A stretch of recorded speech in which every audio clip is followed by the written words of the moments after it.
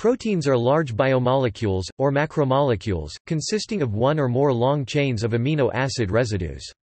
Proteins perform a vast array of functions within organisms, including catalyzing metabolic reactions, DNA replication, responding to stimuli, providing structure to cells and organisms, and transporting molecules from one location to another. Proteins differ from one another primarily in their sequence of amino acids, which is dictated by the nucleotide sequence of their genes, and which usually results in protein folding into a specific three-dimensional structure that determines its activity. A linear chain of amino acid residues is called a polypeptide. A protein contains at least one long polypeptide. Short polypeptides, containing less than 20 to 30 residues, are rarely considered to be proteins and are commonly called peptides, or sometimes oligopeptides. The individual amino acid residues are bonded together by peptide bonds and adjacent amino acid residues. The sequence of amino acid residues in a protein is defined by the sequence of a gene, which is encoded in the genetic code. In general, the genetic code specifies 20 standard amino acids, however, in certain organisms the genetic code can include selenocysteine and—in certain archaea—pyrrolysine. Shortly after or even during synthesis, the residues in a protein are often chemically modified by post-translational modification, which alters the physical and chemical properties, folding, stability, activity, and ultimately, the function of the proteins. Sometimes proteins have non-peptide groups attached, which can be called prosthetic groups or cofactors. Proteins can also work together to achieve a particular function, and they often associate to form stable protein complexes. Once formed, proteins only exist for a certain period and are then degraded and recycled by the cell's machinery through the process of protein turnover. A protein's lifespan is measured in terms of its half-life and covers a wide range. They can exist for minutes or years with an average lifespan of 1 to 2 days in mammalian cells. Abnormal or misfolded proteins are degraded more rapidly either due to being targeted for destruction or due to being unstable. Like other biological macromolecules such as polysaccharides and nucleic acids, proteins are essential parts of organisms and participate in virtually every process within cells. Many proteins are enzymes that catalyze biochemical reactions and are vital to metabolism. Proteins also have structural or mechanical functions, such as actin and myosin in muscle and the proteins in the cytoskeleton, which form a system of scaffolding that maintains cell shape. Other proteins are important in cell signaling, immune responses, cell adhesion, and the cell cycle. In animals, proteins are needed in the diet to provide the essential amino acids that cannot be synthesized. Digestion breaks the proteins down for use in the metabolism. Proteins may be purified from other cellular components using a variety of techniques such as ultracentrifugation, precipitation, electrophoresis, and chromatography. The advent of genetic engineering has made possible a number of methods to facilitate purification. Methods commonly used to study protein structure and function include immunohistochemistry, site-directed mutagenesis, X-ray crystallography, nuclear magnetic resonance and mass spectrometry.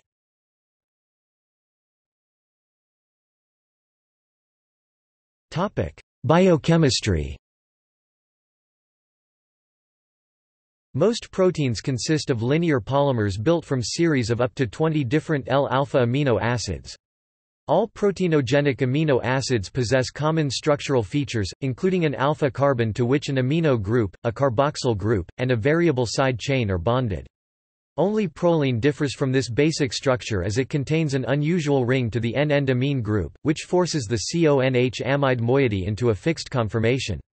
The side chains of the standard amino acids, detailed in the list of standard amino acids, have a great variety of chemical structures and properties. It is the combined effect of all of the amino acid side chains in a protein that ultimately determines its three-dimensional structure and its chemical reactivity.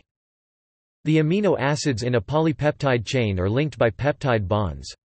Once linked in the protein chain, an individual amino acid is called a residue, and the linked series of carbon, nitrogen, and oxygen atoms are known as the main chain or protein backbone. The peptide bond has two resonance forms that contribute some double bond character and inhibit rotation around its axis, so that the alpha carbons are roughly coplanar. The other two dihedral angles in the peptide bond determine the local shape assumed by the protein backbone. The end with a free amino group is known as the N-terminus or amino terminus, whereas the end of the protein with a free carboxyl group is known as the C-terminus or carboxy terminus the sequence of the protein is written from N-terminus to C-terminus, from left to right. The words protein, polypeptide, and peptide are a little ambiguous and can overlap in meaning. Protein is generally used to refer to the complete biological molecule in a stable conformation, whereas peptide is generally reserved for a short amino acid oligomers often lacking a stable three-dimensional structure. However, the boundary between the two is not well defined and usually lies near 20 to 30 residues. Polypeptide can refer to any single linear chain of amino acids, usually regardless of length, but often implies an absence of a defined conformation.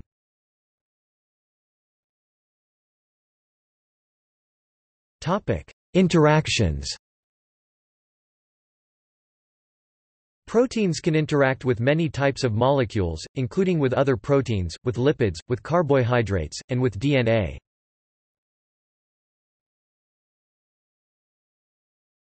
Topic: Abundance in cells. It has been estimated that average-sized bacteria contain about 2 million proteins per cell e.g. E. coli and Staphylococcus aureus.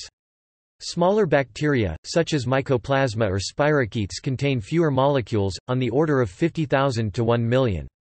By contrast, eukaryotic cells are larger and thus contain much more protein. For instance, yeast cells have been estimated to contain about 50 million proteins and human cells on the order of 1 to 3 billion. The concentration of individual protein copies ranges from a few molecules per cell up to 20 million.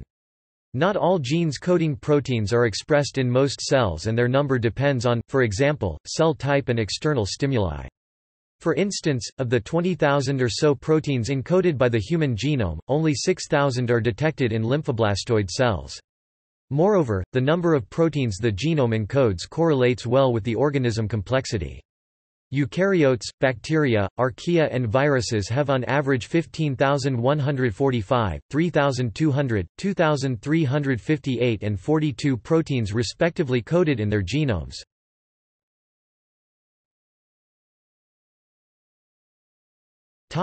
Synthesis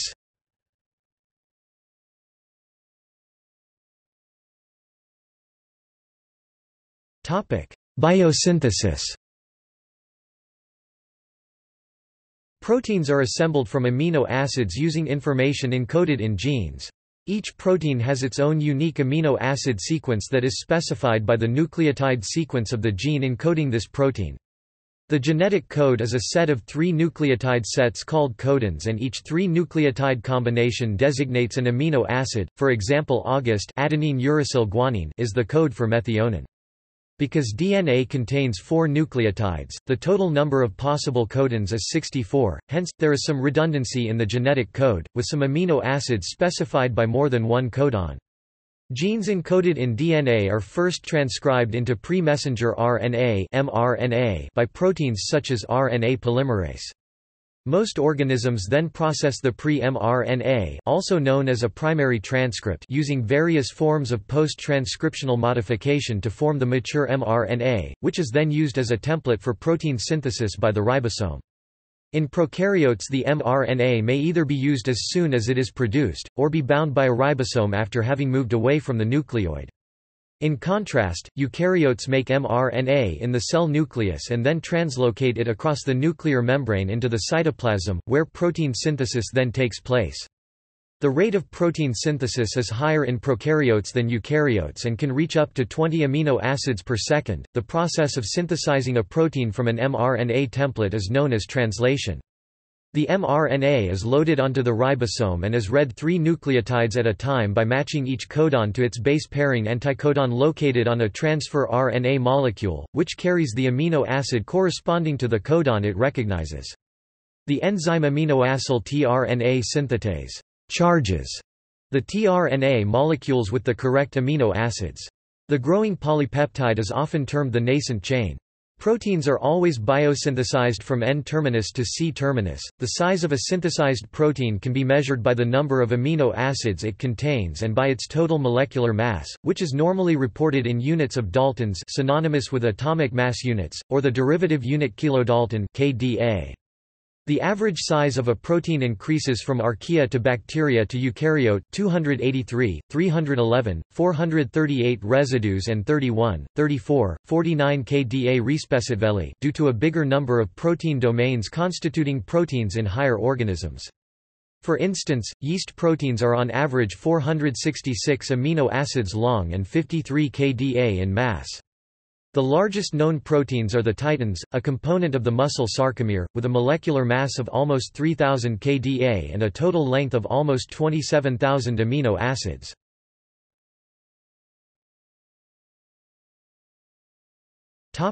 Chemical synthesis Short proteins can also be synthesized chemically by a family of methods known as peptide synthesis, which rely on organic synthesis techniques such as chemical ligation to produce peptides in high yield. Chemical synthesis allows for the introduction of non-natural amino acids into polypeptide chains, such as attachment of fluorescent probes to amino acid side chains. These methods are useful in laboratory biochemistry and cell biology, though generally not for commercial applications. Chemical synthesis is inefficient for polypeptides longer than about 300 amino acids, and the synthesized proteins may not readily assume their native tertiary structure. Most chemical synthesis methods proceed from C-terminus to N-terminus, opposite the biological reaction.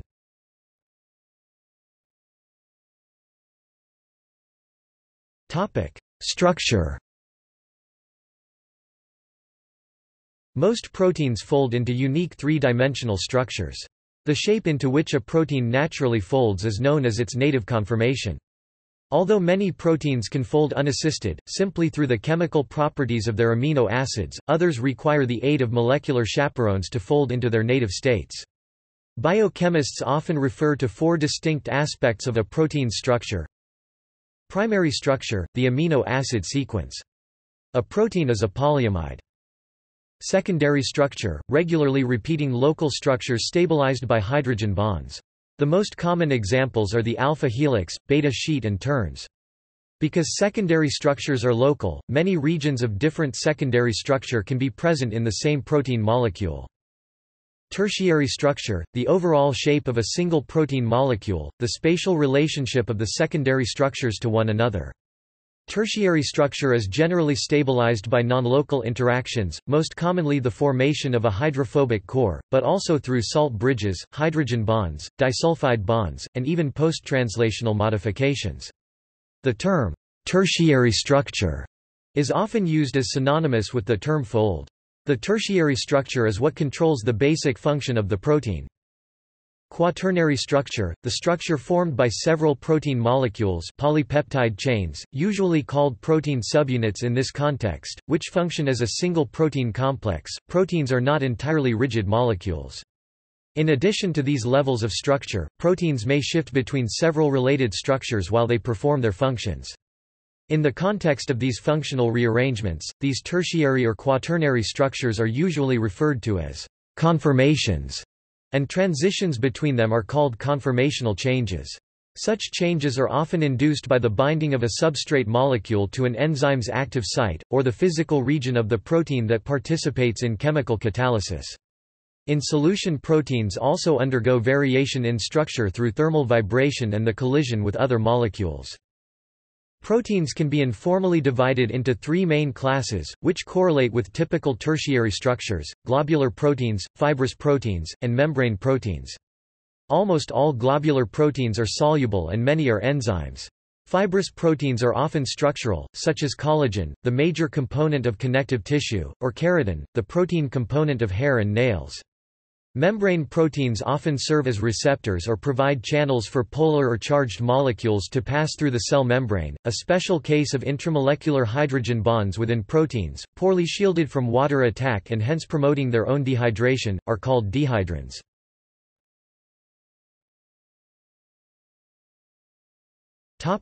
Protein domains Many proteins are composed of several protein domains, i.e. segments of a protein that fold into distinct structural units. Domains usually also have specific functions, such as enzymatic activities e.g. kinase or they serve as binding modules e.g. the SH3 domain binds to proline-rich sequences in other proteins.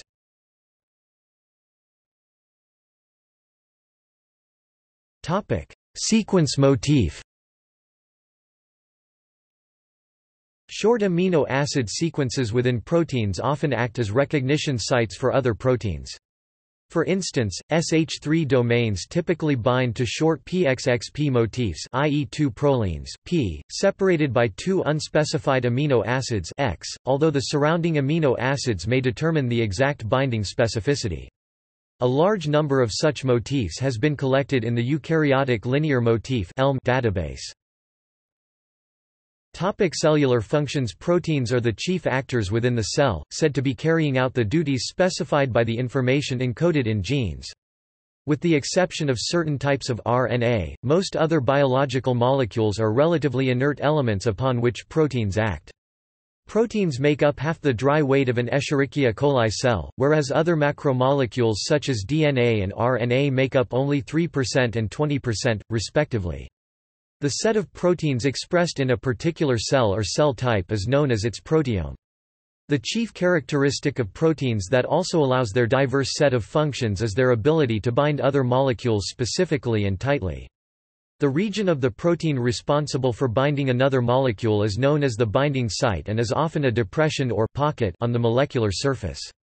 This binding ability is mediated by the tertiary structure of the protein, which defines the binding site pocket, and by the chemical properties of the surrounding amino acid side chains. Protein binding can be extraordinarily tight and specific, for example, the ribonuclease inhibitor protein binds to human angiogenin with a sub-femtomolar dissociation constant 1m. Extremely minor chemical changes such as the addition of a single methyl group to a binding partner can sometimes suffice to nearly eliminate binding, for example, the aminoacyl tRNA synthetase specific to the amino acid valine discriminates against the very similar side chain of the amino acid isoleucine. Proteins can bind to other proteins as well as to small molecule substrates. When proteins bind specifically to other copies of the same molecule, they can oligomerize to form fibrils. This process occurs often in structural proteins that consist of globular monomers that self-associate to form rigid fibers. Protein-protein interactions also regulate enzymatic activity, control progression through the cell cycle, and allow the assembly of large protein complexes that carry out many closely related reactions with a common biological function. Proteins can also bind to, or even be integrated into, cell membranes. The ability of binding partners to induce conformational changes in proteins allows the construction of enormously complex signaling networks. As interactions between proteins are reversible, and depend heavily on the availability of different groups of partner proteins to form aggregates that are capable to carry out discrete sets of function, study of the interactions between specific proteins is a key to understand important aspects of cellular function, and ultimately the properties that distinguish particular cell types.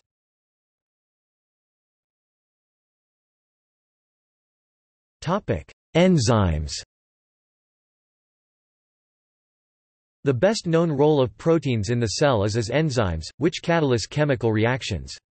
Enzymes are usually highly specific and accelerate only one or a few chemical reactions. Enzymes carry out most of the reactions involved in metabolism, as well as manipulating DNA in processes such as DNA replication, DNA repair, and transcription. Some enzymes act on other proteins to add or remove chemical groups in a process known as post-translational modification.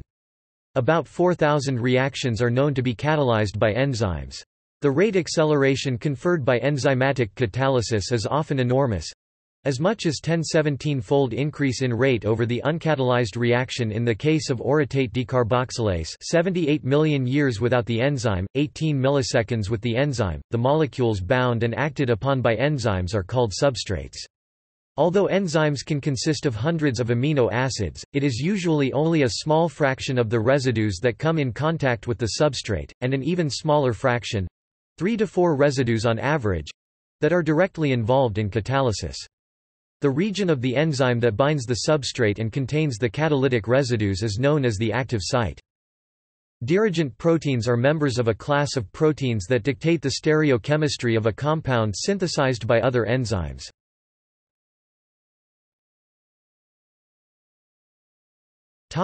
Cell signaling and ligand binding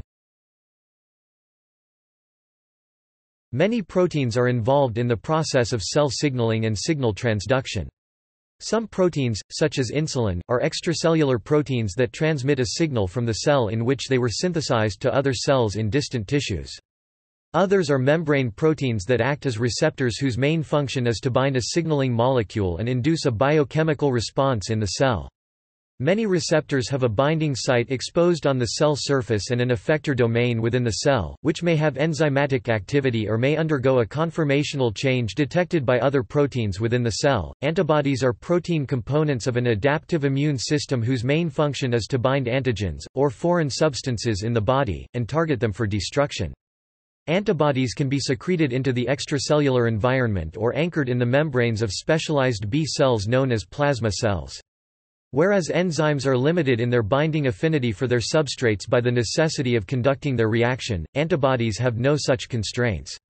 An antibody's binding affinity to its target is extraordinarily high. Many ligand transport proteins bind particular small biomolecules and transport them to other locations in the body of a multicellular organism. These proteins must have a high binding affinity when their ligand is present in high concentrations, but must also release the ligand when it is present at low concentrations in the target tissues. The canonical example of a ligand-binding protein is hemoglobin, which transports oxygen from the lungs to other organs and tissues in all vertebrates and has close homologs in every biological kingdom. Lectins are sugar-binding proteins which are highly specific for their sugar moieties. Lectins typically play a role in biological recognition phenomena involving cells and proteins. Receptors and hormones are highly specific binding proteins. Transmembrane proteins can also serve as ligand transport proteins that alter the permeability of the cell membrane to small molecules and ions. The membrane alone has a hydrophobic core through which polar or charged molecules cannot diffuse. Membrane proteins contain internal channels that allow such molecules to enter and exit the cell.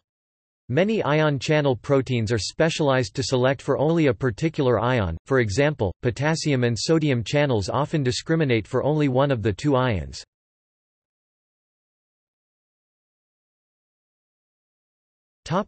Structural proteins Structural proteins confer stiffness and rigidity to otherwise fluid biological components.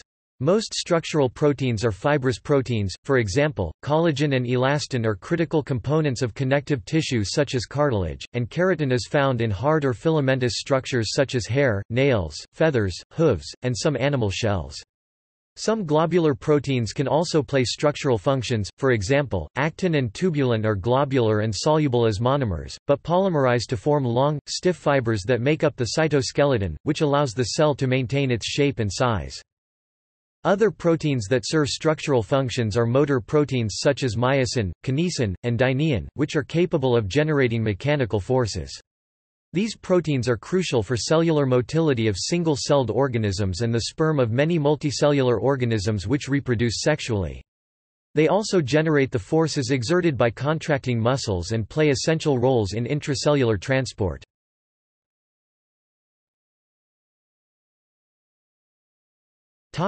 Methods of study The activities and structures of proteins may be examined in vitro, in vivo, and in silico.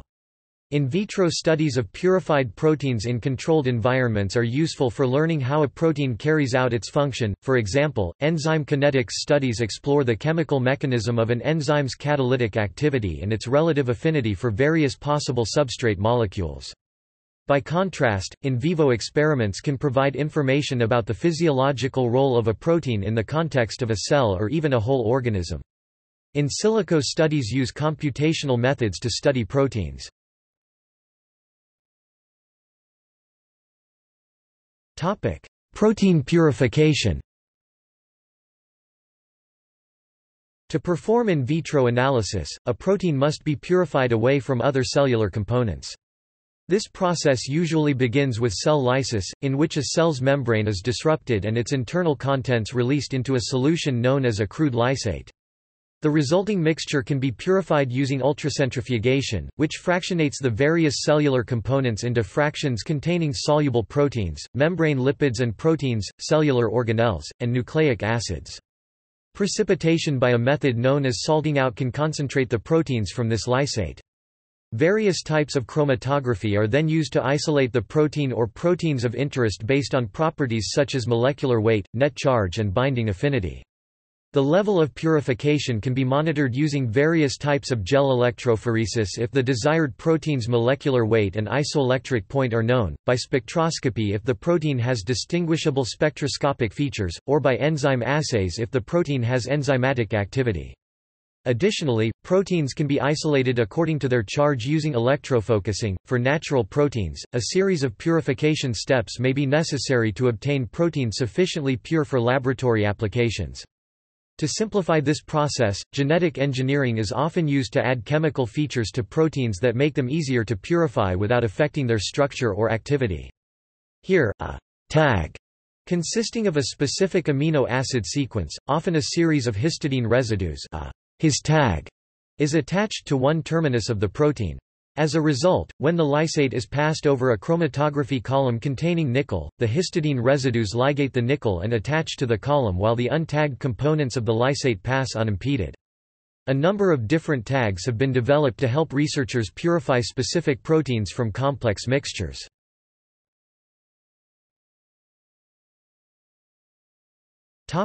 Cellular localization The study of proteins in vivo is often concerned with the synthesis and localization of the protein within the cell. Although many intracellular proteins are synthesized in the cytoplasm and membrane-bound or secreted proteins in the endoplasmic reticulum, the specifics of how proteins are targeted to specific organelles or cellular structures is often unclear. A useful technique for assessing cellular localization uses genetic engineering to express in a cell a fusion protein or chimera consisting of the natural protein of interest linked to a reporter, such as green fluorescent protein GFP. The fused protein's position within the cell can be cleanly and efficiently visualized using microscopy, as shown in the figure opposite. Other methods for elucidating the cellular location of proteins requires the use of known compartmental markers for regions such as the ER, the Golgi, lysosomes or vacuoles, mitochondria, chloroplasts, plasma membrane, etc. With the use of fluorescently tagged versions of these markers or of antibodies to known markers, it becomes much simpler to identify the localization of a protein of interest. For example, indirect immunofluorescence will allow for fluorescence colocalization and demonstration of location. Fluorescent dyes are used to label cellular compartments for a similar purpose. Other possibilities exist, as well. For example, immunohistochemistry usually utilizes an antibody to one or more proteins of interest that are conjugated to enzymes yielding either luminescent or chromogenic signals that can be compared between samples, allowing for localization information. Another applicable technique is cofractionation in sucrose or other material gradients using isopycnic centrifugation. While this technique does not prove colocalization of a compartment of known density and the protein of interest, it does increase the likelihood, and is more amenable to large-scale studies. Finally, the gold standard method of cellular localization is immunoelectron microscopy. This technique also uses an antibody to the protein of interest, along with classical electron microscopy techniques. The sample is prepared for normal electron microscopic examination, and then treated with an antibody to the protein of interest that is conjugated to an extremely electron-dense material, usually gold. This allows for the localization of both ultrastructural details as well as the protein of interest. Through another genetic engineering application known as site-directed mutagenesis, researchers can alter the protein sequence and hence its structure, cellular localization, and susceptibility to regulation. This technique even allows the incorporation of unnatural amino acids into proteins, using modified tRNAs, and may allow the rational design of new proteins with novel properties.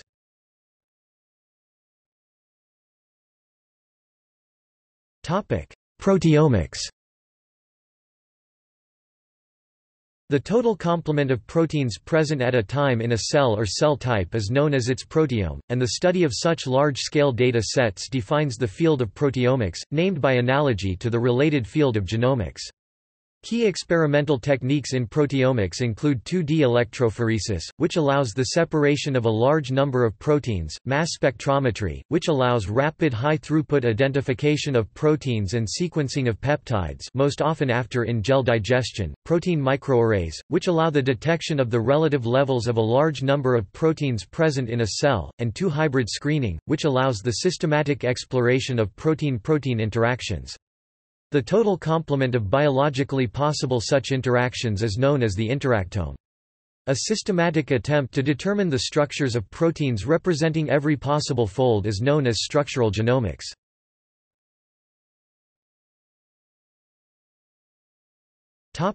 Bioinformatics A vast array of computational methods have been developed to analyze the structure, function, and evolution of proteins.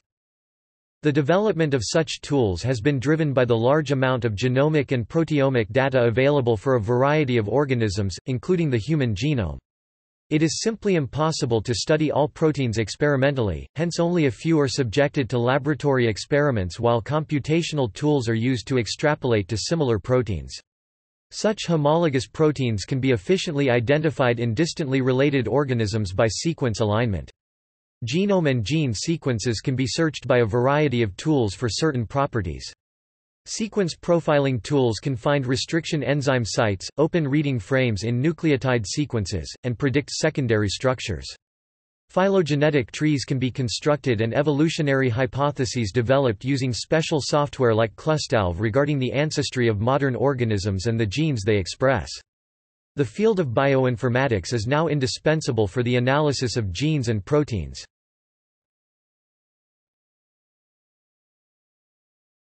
Topic: Structure determination Discovering the tertiary structure of a protein, or the quaternary structure of its complexes, can provide important clues about how the protein performs its function and how it can be affected, i.e. in drug design. As proteins are too small to be seen under a light microscope, other methods have to be employed to determine their structure. Common experimental methods include X-ray crystallography and NMR spectroscopy, both of which can produce structural information at atomic resolution. However, NMR experiments are able to provide information from which a subset of distances between pairs of atoms can be estimated, and the final possible conformations for a protein are determined by solving a distance geometry problem. Dual polarization interferometry is a quantitative analytical method for measuring the overall protein conformation and conformational changes due to interactions or other stimulus. Circular dichroism is another laboratory technique for determining internal beta sheet, alpha helical composition of proteins.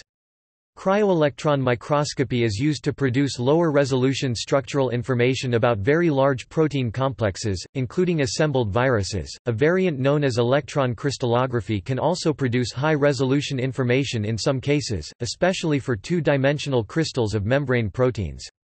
Solved structures are usually deposited in the Protein Data Bank (PDB), a freely available resource from which structural data about thousands of proteins can be obtained in the form of Cartesian coordinates for each atom in the protein. Many more gene sequences are known than protein structures. Further, the set of solved structures is biased toward proteins that can be easily subjected to the conditions required in X-ray crystallography, one of the major structure determination methods. In particular, globular proteins are comparatively easy to crystallize in preparation for X-ray crystallography. Membrane proteins and large protein complexes, by contrast, are difficult to crystallize and are underrepresented in the PDB. Structural genomics initiatives have attempted to remedy these deficiencies by systematically solving representative structures of major fold classes. Protein structure prediction methods attempt to provide a means of generating a plausible structure for proteins whose structures have not been experimentally determined.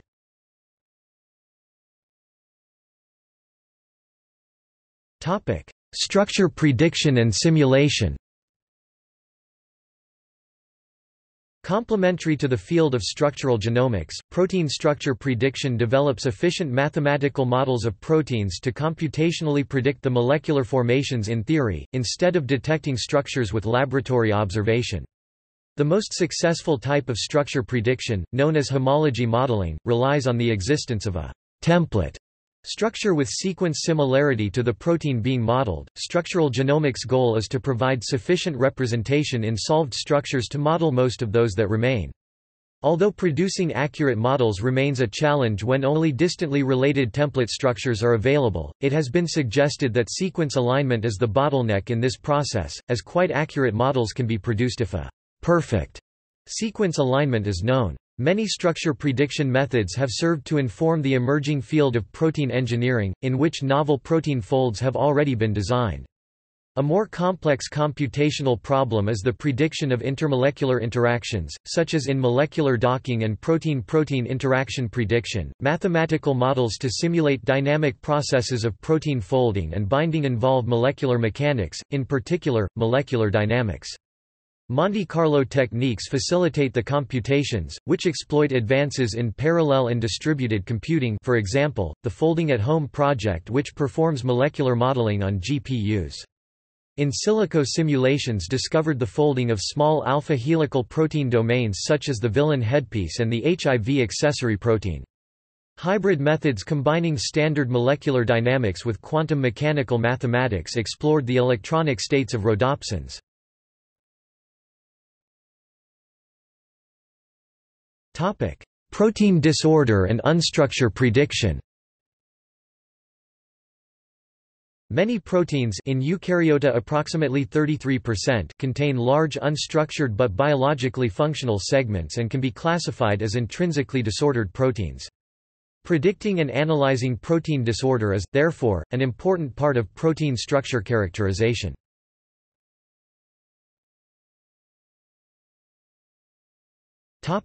Nutrition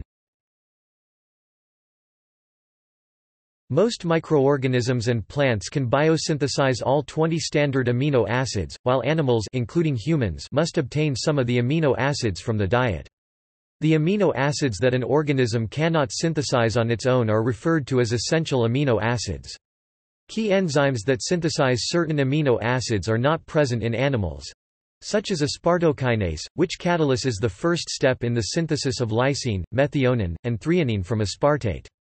If amino acids are present in the environment, microorganisms can conserve energy by taking up the amino acids from their surroundings and downregulating their biosynthetic pathways.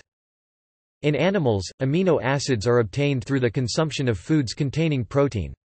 Ingested proteins are then broken down into amino acids through digestion, which typically involves denaturation of the protein through exposure to acid and hydrolysis by enzymes called proteases.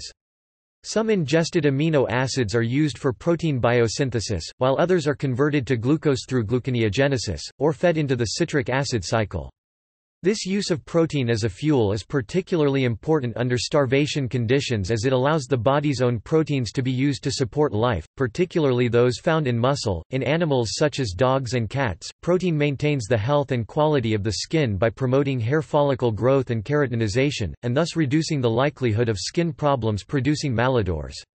Poor quality proteins also have a role regarding gastrointestinal health, increasing the potential for flatulence and odorous compounds in dogs because when proteins reach the colon in an undigested state, they are fermented producing hydrogen sulfide gas, indole, and skatole. Dogs and cats digest animal proteins better than those from plants but products of low-quality animal origin are poorly digested, including skin, feathers, and connective tissue.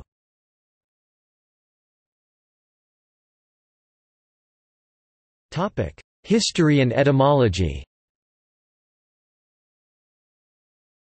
Proteins were recognized as a distinct class of biological molecules in the 18th century by Antoine Fourcroy and others, distinguished by the molecule's ability to coagulate or flocculate under treatments with heat or acid. Noted examples at the time included albumin from egg whites, blood serum albumin, fibrin, and wheat gluten. Proteins were first described by the Dutch chemist Gerardus Johannes Mulder and named by the Swedish chemist Jöns Jacob Berzelius in 1838.